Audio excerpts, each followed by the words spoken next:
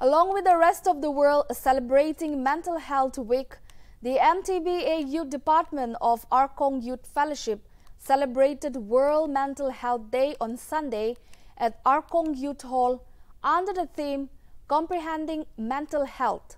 Notably, two sessions were held during the program wherein counseling psychologist and counselor Childline 1098 Mokokchung Merenchila spoke on make mental health and well-being for all a global priority. She drew light on the factors that affect one's mental health, while she also laid emphasis on how these factors can influence one's perception, expectation, opinion, and decision making. Meanwhile, during the second session, educator and human development analyst Alemrenla Jamir spoke on the topic mental health and the scripture.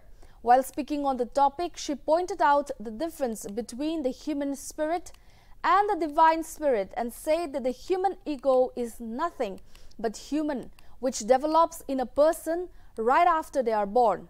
As a human development analyst, through years of experience dealing with people, she stated that the most common mental health issues that the Nagas have are anxiety, depression, and eating disorders.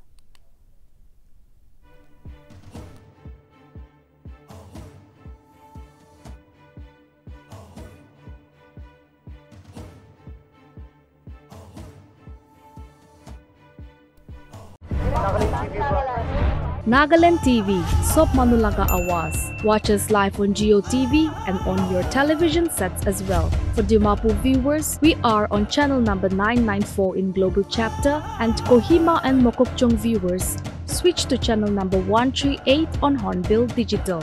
For all news and updates, follow us on Facebook, Instagram, YouTube, and Twitter.